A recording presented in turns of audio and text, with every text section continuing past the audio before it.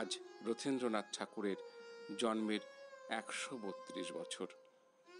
জন্ম সাতাশে নভেম্বর আঠেরোশো অষ্টআশি।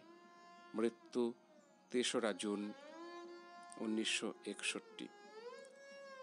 রথীন্দ্রনাথ ঠাকুর একজন বিশিষ্ট ভারতীয় বাঙালি কৃষি বিজ্ঞানী, শিক্ষাবিদ ও লেখক।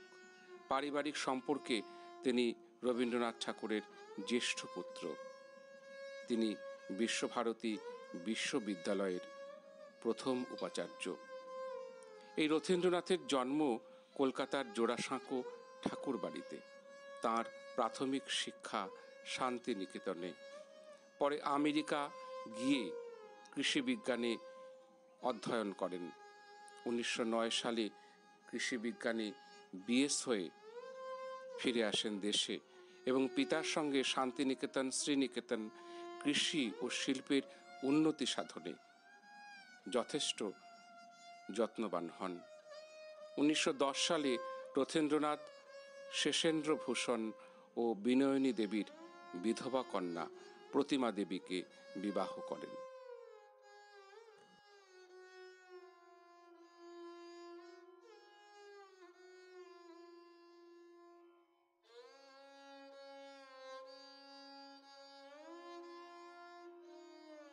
জোড়াসাঁকো ঠাকুর বাড়িতে সকলের যা ইচ্ছে তাই লেখার একটা খাতা ছিল, পারিবারিক খাতা।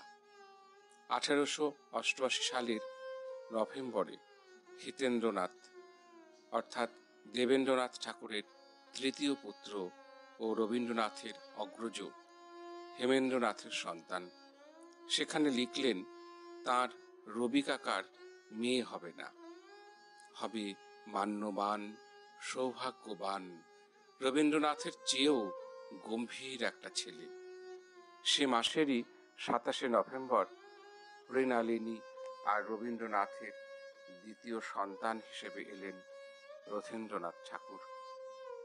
গায়ের রং সেই তখন থেকেই চাপা। পেরিয়ে যাই বেশ কয়েকটি বছর।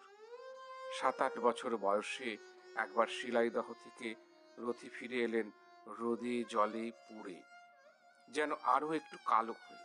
পাশেই গগনেন্দ্রনাথের বাড়িতে জ্যাঠাইমাকে প্রণাম করতে গেলেন।